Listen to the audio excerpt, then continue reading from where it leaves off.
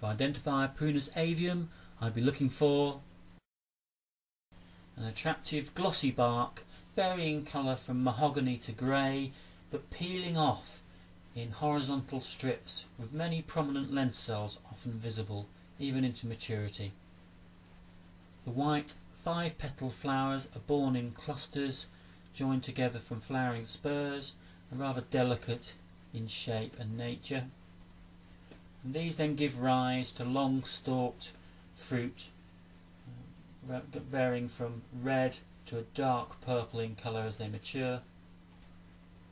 The leaves are held alternately on the twig with noticeable red petioles.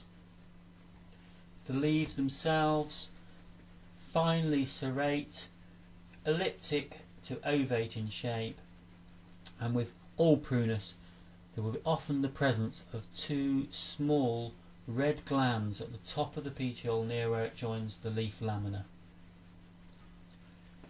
This prunus is particularly thick twigged and often produces a number of heavy branches starting on a young tree excurrent with obvious whorls of branches and into maturity a rather broad crown, rather gawky with heavy limbs and lots of space between the twigs.